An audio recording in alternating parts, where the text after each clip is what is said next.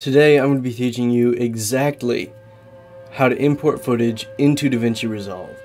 All you have to have is footage and DaVinci Resolve. No technical knowledge required. I'm not going to make this hard. It's going to be as easy as it can be. So, I don't want to waste any of your time. Let's get into this. Alright, so we've got DaVinci Resolve open right here. We're going to want to open up a new project or an existing project if you've already got some stuff.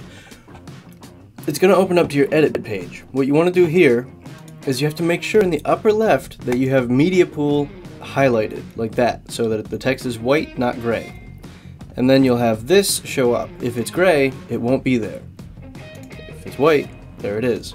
So what you want to do is go into this little window here hit control I or right click and then click on import media. Then you're going to want to find a video that you're looking to put into DaVinci Resolve then you're gonna either click it and then hit open down here, or you click it, hit enter, or my personal favorite, you can double click it. And then this is gonna pop up. The clips have a different frame rate than the current project settings.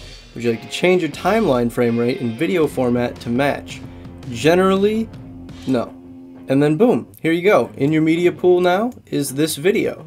You can drag that into your timeline and then you're ready to edit. If you're looking to learn how to edit, I've got a ton of videos on the channel. I think I think like a hundred of them, almost, that are pretty much all designed to help you edit inside of DaVinci Resolve. So check out these videos right here, and I'll leave some in the description down below to help you out. So if you're looking to learn, make sure you subscribe so that you don't miss any of these videos because every single one of them's got something to bring to the table.